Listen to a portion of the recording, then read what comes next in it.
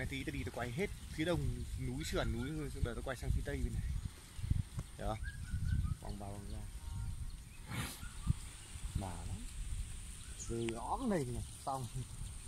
Xong con ong. Điện thoại chú điểm mà rơi này thì xong con ong luôn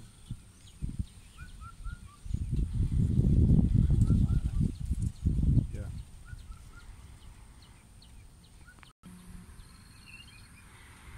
Kìa đằng kia nó có thuyền đi kìa anh kìa đi ấy này đi xuyên vào đây này. Lừa dân thì đấy. Ô bạn kia này vẫn ra được cái kìa điều ấy. Kìa vẫn ra vẫn vào được kìa. Quay lại.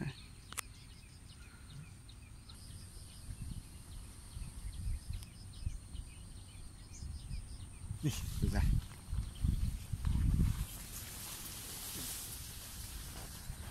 hiện tại anh Trinh nó đang đi ờ, đang đi ra ờ, từ phía tây đúng không nối ra từ tổng tam quan này.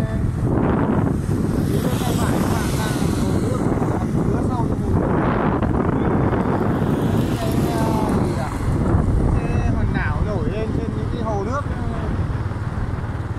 đúng không còn phía bên tay phải là là đang là những cái dãy núi non đá vôi trùng điệp với những cái cây dứa ông rồi là nhiệt đới rậm rạp cái đổ vậy đi Gimboro đâu.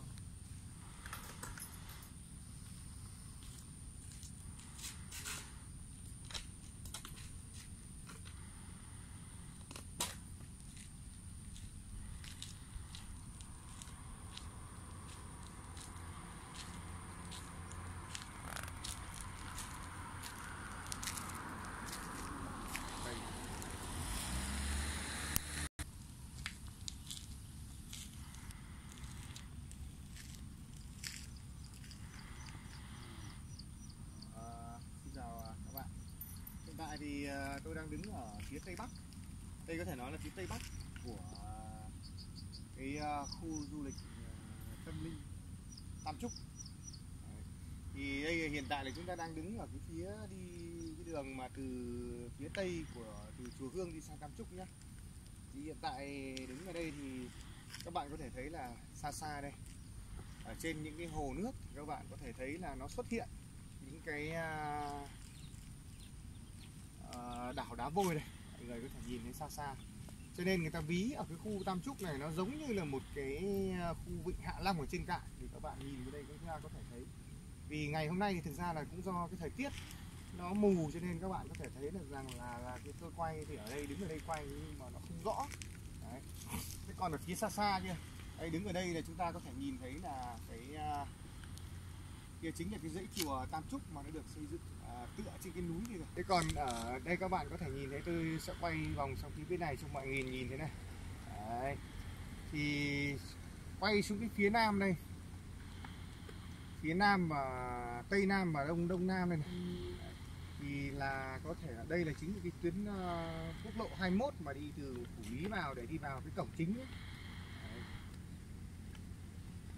Thì đây chính là, là, là sẽ quay lại toàn cảnh chỗ này cho mọi người nhìn nhé ờ, đây, dưới này nó lại là một cái dãy đá vôi núi đá vôi đây và nó được bao bọc ở dưới chân núi đá vôi là cái hồ nước này mọi người có thể nhìn thấy là phía xa xa thì cũng chính là hồ nước nha mọi người nhé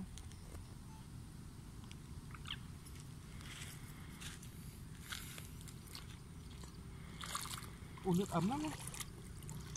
Wow.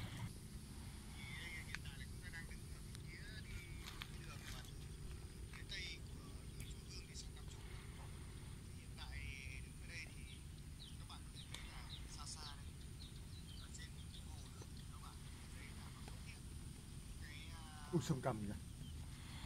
Đâu? Cái gì hả?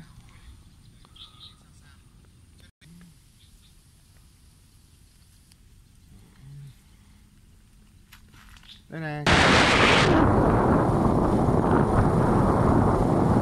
Bia là chính. Đây là sự thật của ba sao luôn. Sự thật. Cái quay.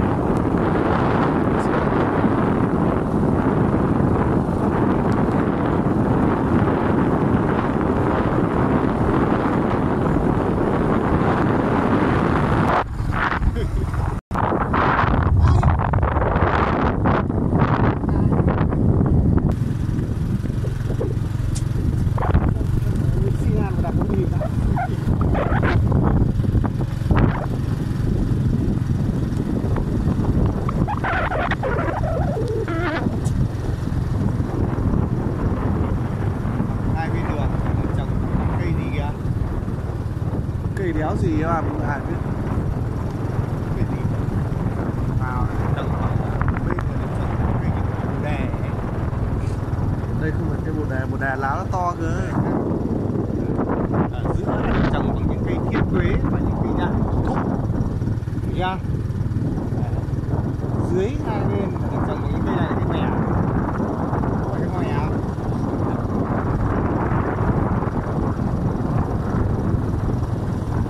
hai bên lối đi thúc cây mát cây cây là cây đúng không? cây sang có này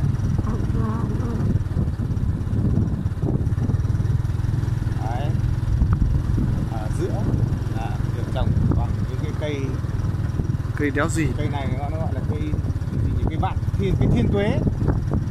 Hàng nghìn năm tuổi à? hàng trăm năm tuổi. Và những cây đạn cổ thụ. Tuổi đời lên tới hàng trăm năm. Hiểu chưa? Nhỏ vậy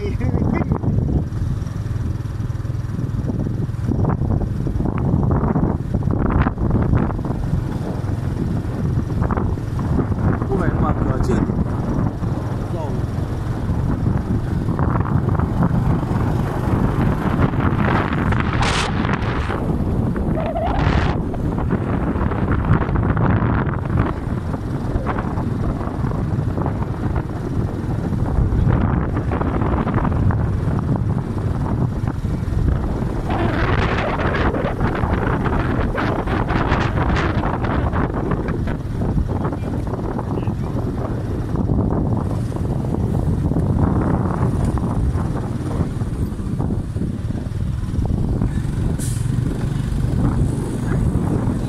đánh nổ đánh nổ nhá đánh nổ chứ chắc không có gì. Bê tông